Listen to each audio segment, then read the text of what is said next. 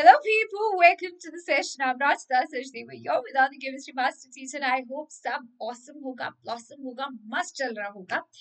So guys, अगर आप लोग भूल जाते हैं कि कितनी reactions हैं chemical reactions and equations में because मुझे हमेशा बच्चों के doubt आते हैं मैम कितनी सारी reactions हैं तो देखो केमिकल रिएक्शंस एंड इक्वेशंस के सारे रिएक्शंस सारे इक्वेशंस को हम एक बार में रिवाइज करेंगे और एग्ज़ाम से पहले अगर आप ढूंढ रहे हो कि यार सारे रिएक्शंस एक जगह मिल जाए तो आप इसी सेशन को वापस रिप्ले करके देख सकते हैं so you can keep it safe with you as well so let's learn all equations from chemical reactions and equations of your CBSE 2024. Shall we? All right, guys, get yourself ready. Chug it for tail. Let's all some chemical locha together. So do it now. Sometimes later becomes never. जो करना है आज ही करना है बाद की सोचोगे तो कभी नहीं हो पाएगा आई थिंक दैट्स डीप आप लोग समझ पा रहे हैं Okay, so how the on schedule of the week? Uh, Monday, 4 p.m. Most repeated topics of chemistry part two that we completed. So that was super duper important part to करा है। हमने first two chapters उठाए थे। Part one already हम कर चुके हैं, जहाँ पे हमने लास्ट के दो चैप्टर उठाए थे। तो आप लोग अगर मिस कर दिया है तो आप जाके इसको देख सकते हैं। Then we have completed NCR marathon of metals and non metals and literally हम घोट के पी गए थे। पूरा चैप्टर एक एक लाइन पढ़ी थी इन टेक्स्ट क्वेश्चंस कर थे लास्ट के भी एक्सरसाइज क्वेश्चंस कर थे सो बाय एनी चांस अगर आपने मिस कर दिया है तो don't worry two X speed पे चलाओ और फटाफट से पूरा चैप्टर रिवाइज कर लो। देन वी हैव ये reactions are very very important जहाँ से क्वेश्चंस आप लोगों के पास आते हैं। So this was a well researched topic ठीक है? बहुत ही रिसर्च के साथ हम लाए थे वाला session so you can go and check it out क्योंकि क्वेश्चंस आपको दिखेंगे कि हाँ से रिपीट होते ही होते हैं। You will also feel like कि अरे यार ये तो हमारे टेस्ट वन में आया था ये हमारे क्लास टेस्ट में आया था। प्री बोर्ड्स के पेपर में भी हमें ये क्वेश्चन मिल सकते हैं। So yes you can go and have a look so now it's time for us to learn about all the chemical equations, all the equations of this chapter. One by one, revise करते हैं and हो सकता है दिमाग की बत्ती जल जाए कुछ भूल गए हो तो वापस से रिकॉल हो जाएगा। So starting up with chemical changes आप लोग ने फ़िज़िकल चेंज केमिकल चेंजेस के बीच में डिफरेंस तो पड़े ही है। जब आपको ये पता चला कि फ़िज़िकल चेंज में कोई नया सब्सटेंस नहीं बनता तो ऑब्वियस ही बात है बॉस वहाँ पे केमिकल रिएक्शंस होने ही नहीं है। क्योंकि केमिकल रिएक्शंस प्रोसेस होता है जहाँ पे पुराने रिश्ते टूटते हैं और नए रिश्ते बनते हैं। मतलब old bonds are broken and new bonds are form वाली जो जर्नी होती है दैट्स केमिकल रिएक्शन लेकिन जब केमिकल रिएक्शन हो गई केमिकल चेंज हो गया तो हमें उन रिएक्शंस को जहाँ पे नया प्रोडक्ट का फॉर्मेशन हुआ है, नया कॉम्पोजिशन क्रिएट हुआ है, उसे एक्सप्रेस करने के लिए केमिकल इक्वेशंस की ज़रूरत पड़ती है। So you guys have already learn कि केमिकल इक्वेशंस हम लोग तीन तरह से लिख सकते हैं। पहला इज़ अ वर्ड इक्वेशन जहाँ पे हम लोग बाय वर्ड एक्सप्रेस करते हैं। Second type of chemical equation is the skeletal equation, जहाँ पे हम लोग सिर्फ़ फॉर्मूलाज लिखते हैं without giving proper balancing right तो यहाँ पे हम इक्वेशन लिखते हैं, लेकिन बिना बैलेंस करें। थर्ड है बैलेंस्ड केमिकल इक्वेशन अब जब हम लोग इक्वेशंस लिखते हैं एग्ज़ाम में तो हमें बैलेंस करना ही करना पड़ता है। क्यों? क्योंकि अगर बैलेंसिंग नहीं करोगे, इसका मतलब you are disobeying your own papa. Disobeying your own papa का कॉन्सिक्वेंस सब जानते भाई छितर पढ़ते हैं। तो अगर आप अपने फादर ऑफ़ केमिस्ट्री को डिसोबे कर रहे law of conservation of mass को डिसोबे करेंगे by not balancing a chemical equation that means आप अपना आंसर कंप्लीट नहीं कर रहे हैं। And if you are not completing the answer it's very obvious कि आपको पूरे मार्क्स भी नहीं मिलेंगे। Isn't it? So for that, let's move on to chemical change. यहाँ पे आपको skeletal equation दिया है chemical changes को show करने के लिए like magnesium अगर burn करता है in presence of oxygen that gives you magnesium oxide but इसके साथ साथ ये heat भी produce करता है so it's a part of a combination reaction as well as it is exothermic reaction ठीक है केमिकल चेंजेस के और एग्ज़ाम्पल भी हो सकते थे ना in number of chemical change का एग्ज़ाम्पल अगर मेटल एसिड के साथ रिएक्ट कर रहा है तो वो आपको देगा metal salt plus hydrogen gas that gives you metal salt plus hydrogen gas for example zinc reacting with h2so4 forms zinc sulfate and a gas is produced which burns with pop sound okay next starting up with iron अगर metal water के साथ react करता है तो आपको क्या देगा? So it's a ferrosoferric oxide that is being created ferroso oxide is created along with that hydrogen gas will be liberated. तो अगर आप ध्यान से देखें तो यहाँ पे इक्वेशन बैलेंस्ड भी है। उसके साथ साथ यहाँ पर जितने भी फ़िज़िकल स्टेट्स दिए गए हैं that is providing the extra information about this equation कि सॉलिड गैस के साथ रिएक्ट कर रहा है ferrosoferric oxide is a solid produced and hydrogen is a gas which is produced तो अगर आप लोग याद कर सकते हैं तो प्लीज़ याद करिए अबाउट दिस फ़िज़िकल स्टेट जिससे कि आप लोग एग्ज़ाम में अगर इसको लिख कर आते हैं तो you will give a nice presentation to your answer जिसका इम्पैक्ट एग्जामिनर को, के दिमाग पे पड़ता ही पड़ता है। They get so impressed okay moving on to next is condition अगर कहीं पे भी कंडीशन रिक्वायर्ड है so you have to give it it's mandatory यहाँ आपके पास कोई चॉइस नहीं है बॉस लाइक फॉर एग्जांपल अब यहाँ पे फोटोसिंथेसिस हो रहा है तो photosynthesis happens in presence of sunlight and chlorophyll अब आप सोच के देखो अगर ये इंफॉर्मेशन मिस हो जाती. शुरू से ही साइंटिस्ट ये इंफॉर्मेशन नहीं देते तो क्या होता? आपको पता ही नहीं चलता कि यार फोटोसिंथेसिस के लिए सनलाइट और क्लोरोफिल की ज़रूरत होती है। तो ये कंडीशंस बहुत इंपॉर्टेंट है टू वेरीफाई कि आप जो लिख रहे हो वो करेक्ट है या नहीं। अब ये कंडीशंस नहीं होंगी तो ये रिएक्शन नहीं होगी। वेरी ऑब्वियस और जब रिएक्शन नहीं होगी तो केमिकल इक्वेशन किस बात का? केमिकल चेंज किस बात का? Right right? तो so, ये बेसिक खत्म होता है। So CO carbon monoxide reacts with hydrogen in presence of 340 ATM ATM का मतलब अगर आपको नहीं पता तो ये शॉर्ट में लिखा जाता है for atmospheric pressure atmospheric pressure is a unit for pressure तो यहाँ पे 340 atm आपको प्रोवाइड करना पड़ेगा then only you get the product which is called as methanol इस प्रोडक्ट का नाम क्या है? Methanol CH3OH which is one of the alcohol. But हम इसे कंज्यूम नहीं कर सकते, ये पॉइजनस एल्कोहल होता है। Okay okay. Then it comes to all types of chemical equations starting up with combination जिसे हम synthesis भी कहते हैं यहाँ पे दो reactant combine होके आपको एक single product मिलेगा have so many examples here like calcium uh, oxide reacts with carbon dioxide that gives you calcium carbonate and so on hydrogen oxygen के साथ react करके पानी बनाता है decomposition की बात करें तो एक reactant will chop chop chop chop chop break into several products तो A B will going to decompose into A plus B यहाँ से आपके पास से क्वेश्चन उठता है कि क्या डिकॉम्पोजिशन एंड कॉम्बिनेशन उल्टे हैं are opposite from each other yes assertion reason में आपसे पूछा जाता है so यहाँ पे definitely they are opposite to each other decomposition various uh, conditions के presence में होता है so I would say कि decomposition बड़ी नखरे वाली reaction होती है तो require heat also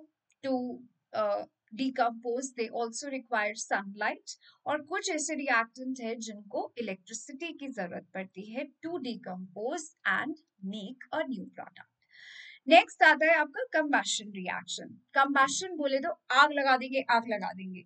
यहाँ पे मीथेन को हमने बर्न करा in presence of oxygen so that will going to give you carbon dioxide in water combustion reactions are the simplest reactions ever that you see neutralization is a part of double displacement reaction double displacement reaction में आपको neutralization भी मिलता है as well as आपको double displacement में precipitation reaction भी मिलते हैं, इनके भी दर्शन होते हैं। प्रेसिपिटेट बोले तो इन्हें हम इन शॉर्ट लिखते हैं PPT which is insoluble substance क्या है ये? इनसॉल्युबल सब्सटेंस बनाते हैं, जहाँ पे दो aqueous to aqueous substance react करेंगे एंड एक्सचेंज ऑफ़ आयंस होगा, जहाँ पे सी will take a position of A and A will take a position of C. Let's say कि यहाँ पे CB is the precipitate, which is an insoluble substance. तो हम इसको क्या लिखते हैं? PPT. पीपीटी को रिप्रेजेंट करने के लिए हम लोग डाउनवर्ड एरो दिखाते हैं क्योंकि ये नीचे कुछ देर में सेटल हो जाता है ना टेस्ट ट्यूब के। तो इसीलिए हम इसके लिए डाउनवर्ड एरो दिखाते हैं। गैसेस के लिए हमेशा हम अपवर्ड एरो दिखाते हैं जबकि प्रेसिपिटेट के लिए हमेशा हम लोग इनको डाउनवर्ड एरो से शो करते हैं। Precipitates will always be solid in nature ठीक है ओके नाउ यूटिलाइजेशन होता है जहाँ पे एसिड बेसिस के साथ रिएक्ट करेंगे and that will result into salt in water ये भी तो डबल डिस्प्लेसमेंट है. फॉर एग्जांपल अगर आपको यहाँ डबल डिस्प्लेसमेंट नहीं दिख रहा तो यहाँ देखो। NaOH बेस है एसिड HCl H Na की जगह लेगा तो क्या बनाएगा? HOH प्लस Na H की जगह लेगा तो क्या बनाएगा? NaCl एक्सचेंज हुआ। NaCl plus HOH क्या है भाई HOH is nothing but it's water H2 it is also double displacement परंतु यहाँ पे precipitate का formation नहीं हो रहा है ठीक है uh, now moving on to again examples of combination as I told you before also quicklime which is चूना कैल्शियम ऑक्साइड ठीक है इनके आपको अलग नेम्स भी पता होने चाहिए सो कैल्शियम ऑक्साइड का जो कॉमन नेम है that is and in case of quick client just second या क्विक लाइम जो पानी से रिएक्ट करेगा that mean going to form slate lime slate lime को हम लोग और क्या कहते हैं? We also call it as lime water we also call it is lime water and ये रिएक्शन काफ़ी ज़्यादा एक्सोथर्मिक होती है. कई बार मुझसे बच्चे पूछते हैं मैम सारी कॉम्बिनेशन रिएक्शन एक्सोथर्मिक होते हैं? Mostly mostly combination reactions exothermic में आते हैं। सो so, यहाँ पे क्विकलाइम जब पानी के साथ ऐड करें दो रिएक्टेंट कंबाइन होकर एक प्रोडक्ट बना so definitely it's a combination and heat is release so two in one exothermic also now calcium hydroxide carbon dioxide के साथ रिएक्ट करेगा। This is one of the test of carbon dioxide तो lime water है। Lime water के अंदर हम carbon dioxide pass करें so that will turn into milky colour है ना? तो यहाँ पे आपसे कई बार क्वेश्चन पूछता है कि मिल्की कलर किसकी वजह से आया? मिल्की कलर आता है कैल्शियम कार्बोनेट की वजह से, ठीक है? So this is one of the test of carbon dioxide now as you all know non metallic oxide है। नॉन मेटालिक ऑक्साइड है तो एसिडिक है। एसिडिक है तो बेस के साथ रिएक्ट करके सॉल्टेड वाटर देगा। Logic, right? Next is burning of coal. This is what you have learned कि carbon oxygen के presence पे burn करेगा carbon dioxide. Again, it's an example of combination. Hydrogen oxygen के साथ react करेगा that forms water, which is again two reactants combining and giving you one product. Combustion की हम लोग बात कर ही चुके हैं. Where methane is reacting with oxygen, आग लगा देंगे boss. तो यहाँ पे आग लगाने वाला काम हो रहा है. आग लगाते ही that will going to release carbon dioxide and water. Decompos decomposition is a todu podu reaction. Decomposition से आपके पास uh, this one is very very important. Colors observation के questions आते हैं ठीक है ऑब्जर्वेशन के questions are very very important like for example lead nitrate अगर हम डिकम्पोज करते हैं तो आपको क्या कलर की गैसेस मिलते हैं इधर दिस सॉर्ट ऑफ़ क्वेश्चन या फिर क्वेश्चन बनता है एक्स वाई जी फॉर्म का कि एक्स एक व्हाइट कलर का कंपाउंड है on heating that gives you yellow colour of compound Y with brown colour of gas और brown colour fumes of a gas Z and so on. So these questions are super duper important. XYZ questions your observation. They are the most lovable questions of CBSC. Then it's a photolytic decomposition, which is also used in black and white photography. Black and white photography में भी ये काम आते हैं तो आपको कुछ कुछ के यूजेस जहाँ दे रखे हैं वो आपको पता होने चाहिए क्योंकि आपके क्वेश्चन उसको रिलेट uh, करके भी पूछ लेता है घुमा के पूछ सकता है ठीक है? नाउ अगर हम लोग फेरस सल्फेट की बात करें this question comes again under ABC और एक्स वाई जी इसको मैं आप लोगों को थोड़ा सा डिटेल में बता देती हूँ। तो जब भी आपसे बोलता है ना कि ग्रीन विट्रियोल ग्रीन कलर का एक कंपाउंड है जिसे हम डिकम्पोज करते हैं and that results into formation of red colour this is red colour और brownish red colour of ferric oxide and sulphur smelling gas निकलती है। तो आप इसको दो स्टेप में करोगे। दो स्टेप क्या है? F E S O four dot seven H two जिसे हम कहते हैं ग्रीन विट्रियोल अगर हम इसे डिकम्पोज करते हैं थर्मल डिकम्पोजिशन करते हैं that gives you F E S O four plus seven water of crystallisation तो यहाँ पे क्या हुआ है एग्जैक्टली exactly? यहाँ पे हुआ है ग्रीन कलर का substance has been turned into dirty white colour white है, यहाँ नहीं है। Okay dirty white colour of ferrous sulphate क्योंकि हम वाटर ऑफ़ क्रिस्टलाइजेशन जा चुके हैं। Now this F is further heated which were going to form F E two O three and sulphur smelling gases तो आपने इस रिएक्शन को दो स्टेप में लिखा है।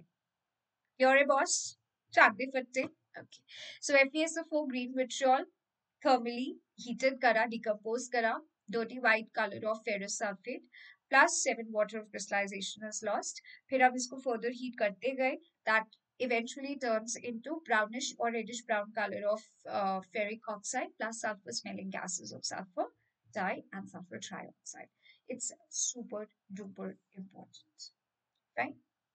Okay then comes to limestone limestone को हम लोग किन किन नाम से जानते हैं? मार्बल के नाम से जानते हैं एक्शेल के नाम से जानते हैं we also name it for chalk and so on right तो हमें पता होना चाहिए लाइमस्टोन के और दूसरे नाम क्या होते हैं, क्योंकि क्वेश्चन में वो आपसे डायरेक्टली लाइमस्टोन करके नहीं पूछता है। मोस्ट ऑफ़ द टाइम आप पिछले पेपर्स उठाओगे, previous year question papers you will never, ever find limestone to be used as limestone as a term.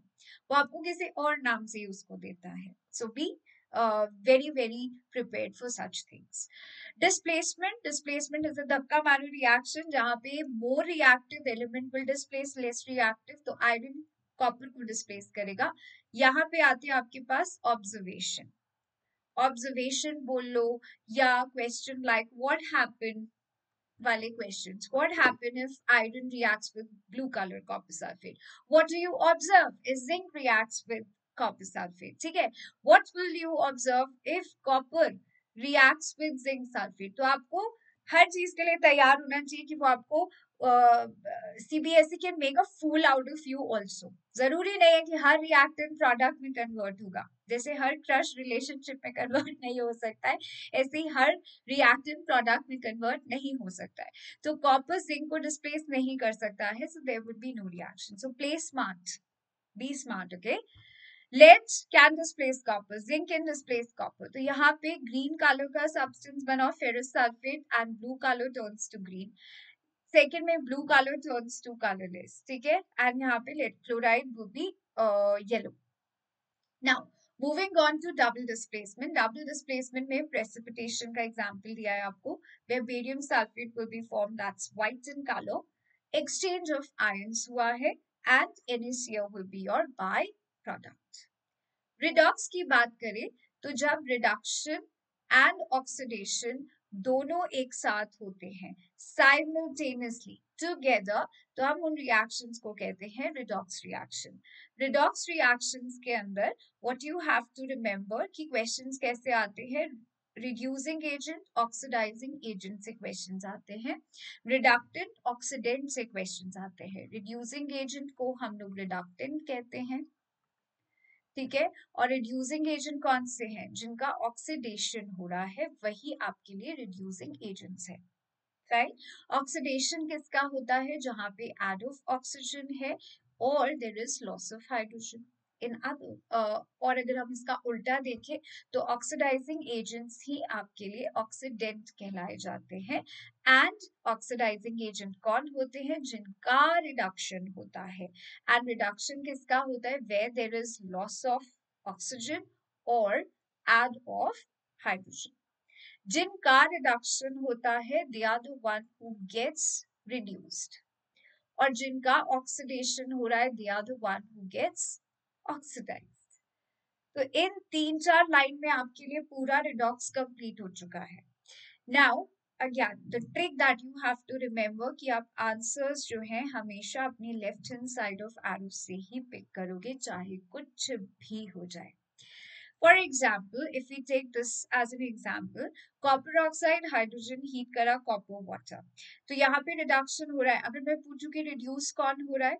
Copper oxide oxidise कौन हो रहा है? हाइड्रोजन आपके लिए ऑक्सीडाइजिंग एजेंट कौन है? कॉपर ऑक्साइड रिड्यूसिंग एजेंट कौन है? हाइड्रोजन रिडक्टेंट कौन है? हाइड्रोजन ऑक्सीडेंट कौन है? कॉपर ऑक्साइड तो अभी तक मैंने जितने आंसर्स दिए, वो एरो से पहले वाले से दिए हैं। सो ऑलवेज रिडॉक्स रिएक्शंस में आपके आंसर्स एरो के पहले वाले से आएँगे।